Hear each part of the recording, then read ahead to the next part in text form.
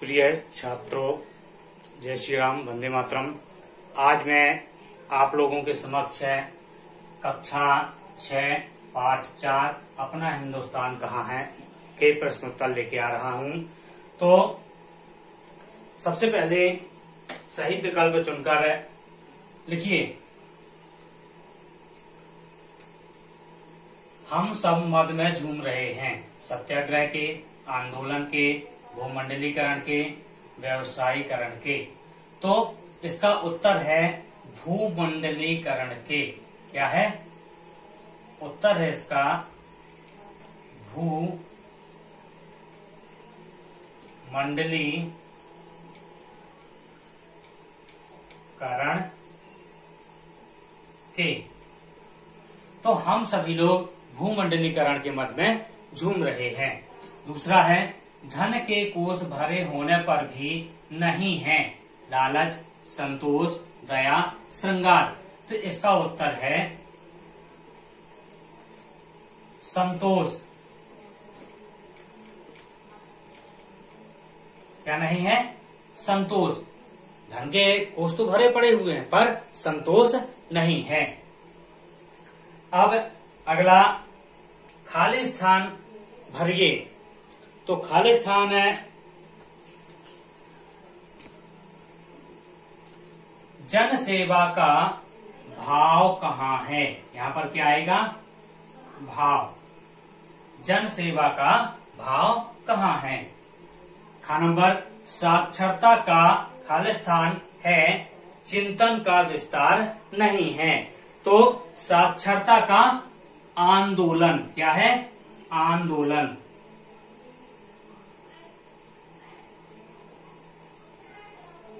साक्षरता का आंदोलन है, पर चिंतन का विस्तार नहीं है।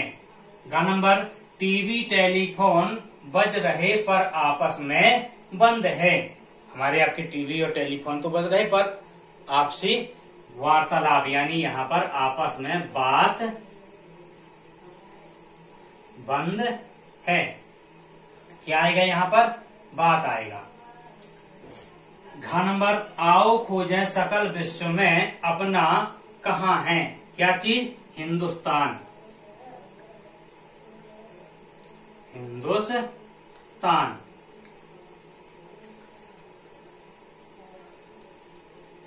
प्रश्नों के उत्तर लिखें। प्रश्न नंबर तीसरा है, का नंबर, हम सारी दुनिया किन साधनों से घूम रहे हैं? उत्तर, हम सारी दुनिया टीवी और टेलीफोन से ही घूम रहे हैं। हम घर बैठे देश विदेश के समाचार सुन रहे हैं और मोबाइल के माध्यम से हम देश विदेश की खबरें या दूर रह रहे रिश्तेदारों की जानकारी हासिल कर सकते हैं। साक्षरता से क्या आशय है? साक्षरता से आशय क्या है? तो उत्तर इसका, साक्षरता से यह आशय है कि सभी जन सामान्य सभी जन सामान्य स्तर तक पढ़ना, लिखना सीख जाए। साक्षरता से यह आशा है कि सभी जन सामान्य स्तर तक, सामान्य स्तर तक पढ़ना, लिखना सीख सके।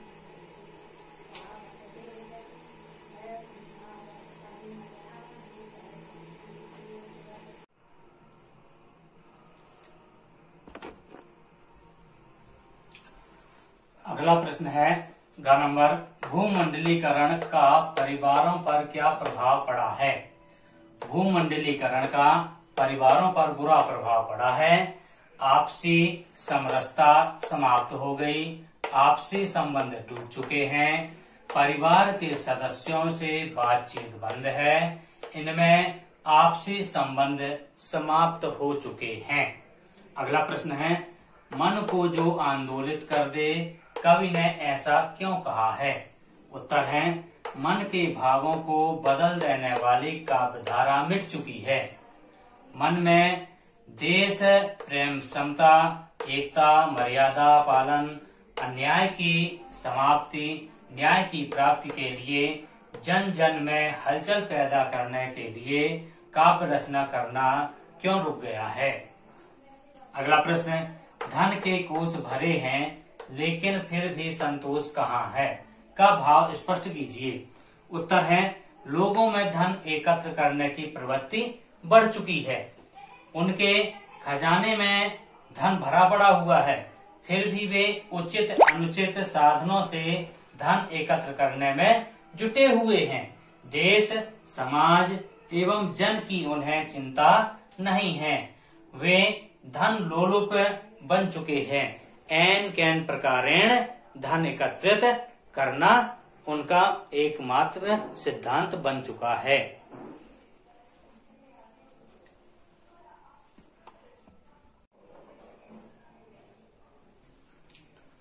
अगला प्रश्न है, अपना हिंदुस्तान कहाँ है? कवि का संकेत किस ओर है। तो उत्तर है, हिंदुस्तानी धन कमाने की चेष्टा में देश छोड़कर विदेशों में बस गए हैं। और वे अपनी ऊर्जा और ज्ञान का उपयोग विदेशों में कर रहे हैं, जिससे वे देश संपन्न हो रहे हैं। लोग हमारे हैं, पर विदेशों में काम कर रहे, अपने ज्ञान विज्ञान का प्रयोग कर रहे हैं, जिससे जिस देश में वो काम कर रहे हैं, वह देश संपन्न होता चला जा रहा है। उन देशों की संस्कृति और सभ्यता उन लोगों को प्रभाव, उन लोगों पर प्रभाव डाल रही है। वे अपने देश, अपने समाज, अपनी संस्कृति, सभ्यता को भूल चुके हैं। तो अपना हिंदुस्तान कहाँ है? इस पंक्ति का आशय यही है। छ नंबर, कविता में उल्लेखित कवियों के नाम लिखिए।